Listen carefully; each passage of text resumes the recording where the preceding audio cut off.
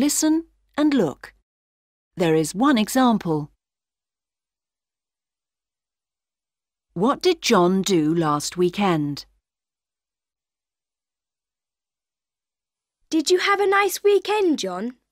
Yes, but I was very tired at the end of it. Why? Did you go running or swimming? No, I went mountain climbing. Can you see the tick?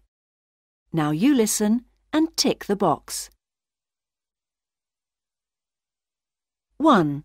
Did anyone go with him? Who did you go with? I went with two other people. Your older brothers? No, my uncle and aunt took me. They often go to the mountains. 2. What was the weather like? Was the weather okay? Well, no. That was part of the problem.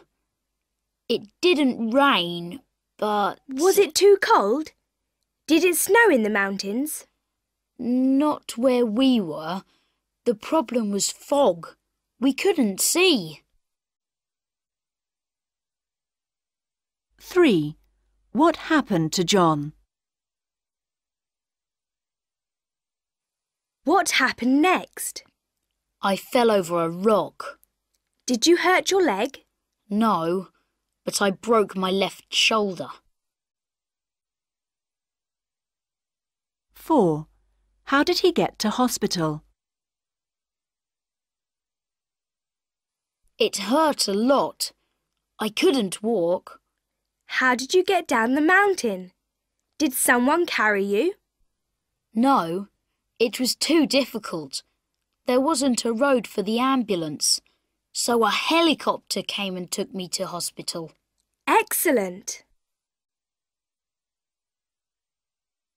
5. What is John going to do next weekend? Then I spent three days in bed in hospital. Well, what are you going to do next weekend? Stay at home and watch television? I'm going to stay in my armchair and read a book.